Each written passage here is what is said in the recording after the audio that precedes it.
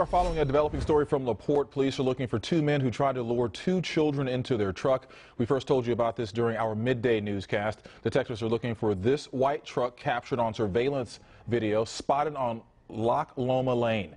Channel 2's Phil Archer spoke with the children's father. He joins us live now with what he said. Phil. Yeah, uh, LaPorte police say this is the block where the men tried to lure the kids into their truck. Kids got away. But neighbors say she has seen the same white truck and the same two men in the neighborhood, cruising the neighborhood, as recently as four days ago. A home security camera captured these images of the truck as it cruised down Loch Lomond Street January 4th.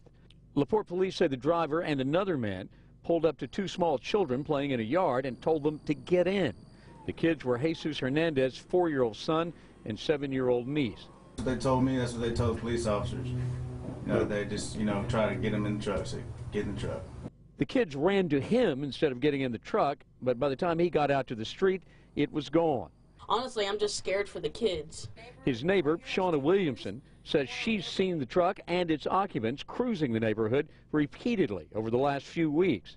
I know it's a white utility truck and with a big old brown ladder that's always in the back of it.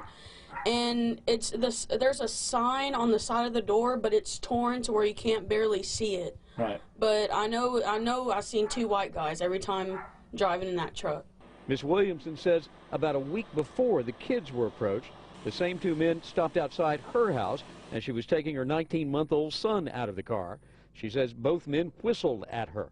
I don't know them, the men, and they were like kind of whistling real low, but I've, I ignored them and I went straight inside and I shut my blinds on, on, the, on the window and they just, they kept going.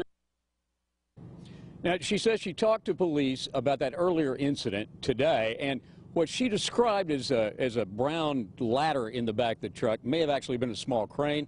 LaPorte police aren't sure. They sure would like to hear from anyone, though, that know who owns that truck or has any other information about it. Reporting live in LaPorte, I'm Phil Archer, KPRC Channel 2 News.